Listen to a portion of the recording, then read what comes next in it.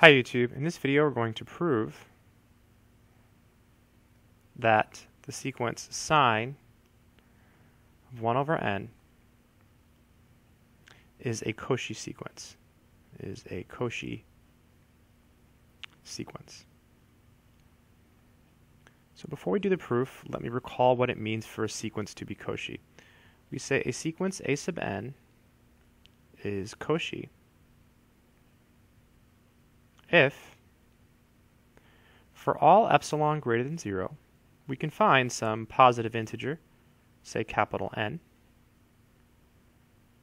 such that for all little n and little m bigger than capital N, we can make the distance between a sub n and a sub m arbitrarily small. Well, how small? Smaller than epsilon. So in this problem, we're going to prove that this sequence is Cauchy, and the sequence in question is the sine of 1 over n. So this here is our a sub n. So proof. So before we do the proof, we have to actually figure it out. So I'm going to come over here and we'll do the scratch work. So we'll have an epsilon greater than 0. And we'll need to find a capital N such that this distance is less than epsilon.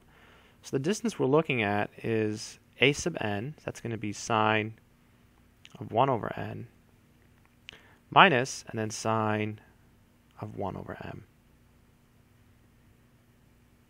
And you could use a trig identity, but I think in this case, um, if we think of this as plus negative, we can just jump straight to the triangle inequality. Recall the triangle inequality says that the absolute value of a plus b is less than or equal to the absolute value of a plus the absolute value of b. This will be less than or equal to the absolute value of sine of 1 over n plus the absolute value of negative sine of 1 over m.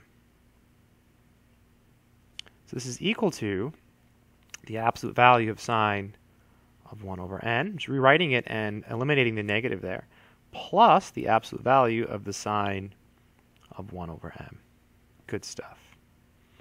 All right, so now what do we do? Well, there is another identity uh, from mathematics that is very, very useful in problems like this. Um, if you have the absolute value of the sine of x, that's less than or equal to the absolute value of x. Super, super useful, right?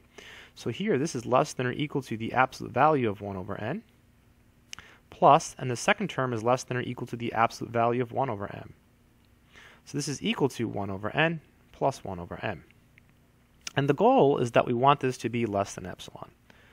So one thought is to maybe make this equal to equal to epsilon over 2 and this equal to epsilon over 2. Uh, and then you can add them and the result uh, is equal to epsilon. But if we can make this less than epsilon over 2 and this less than epsilon over 2, then the sum will be less than epsilon. So let's do that. Let's make this less than epsilon over 2 and this less than epsilon over 2. See, we don't have a less than yet, but when we, when we force this to be less than epsilon over 2, that will create a less than for us in the proof. So I'll do it over here. So we want 1 over n to be less than epsilon over 2. So if we multiply by 2 and multiply by n, we get 2 less than n epsilon. I just cross multiply. Not divide by epsilon, so we get 2 over epsilon less than n. If you read that backwards, it says n bigger than 2 over epsilon. Did that kind of fast. So multiply, you get 2. Multiply, you get n epsilon. We divided by epsilon. Then I just wrote it backwards. n greater than 2 over epsilon. There it is. Via the Archimedean property, we can choose a natural number bigger than 2 over epsilon. Given any real number, and 2 over epsilon is certainly a real number, because epsilon is greater than 0, it's not 0, we can find a number that is bigger. It's called the Archimedean property. So we can invoke the Archimedean property in our proof to choose our natural number.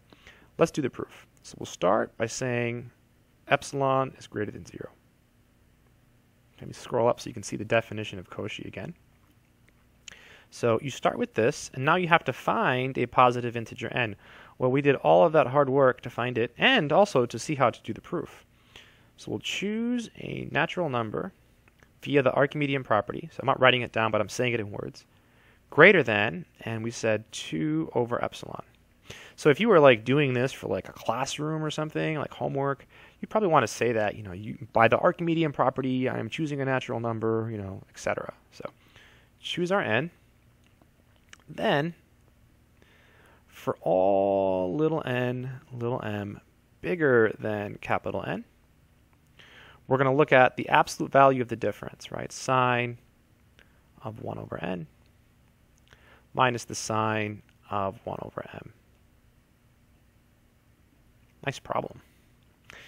And we can use the triangle inequality. Again, think of this as plus negative. So, so we can we have a plus sign. We're using this inequality here.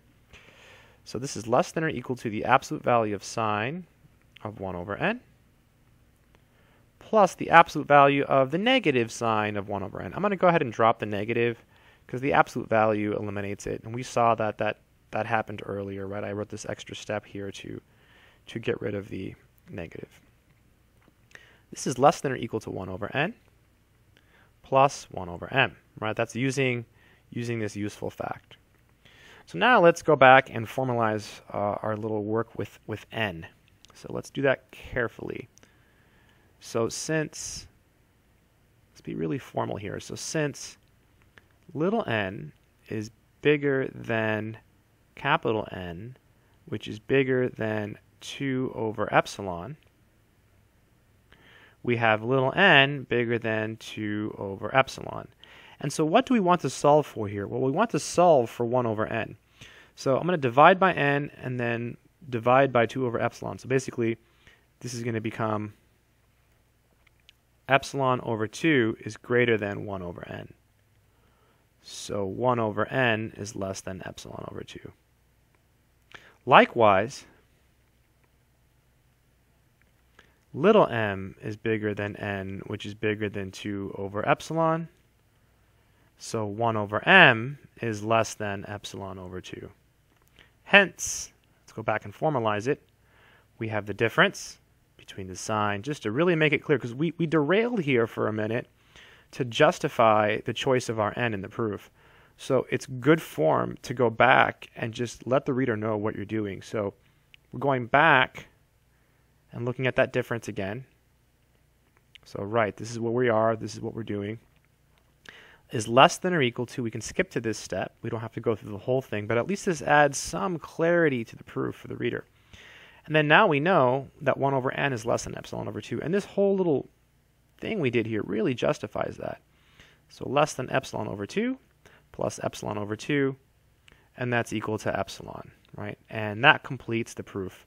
So we have shown uh, that this is a Cauchy sequence. I hope this video uh, helps uh, someone out there who is working on maybe maybe Cauchy sequences. That's it.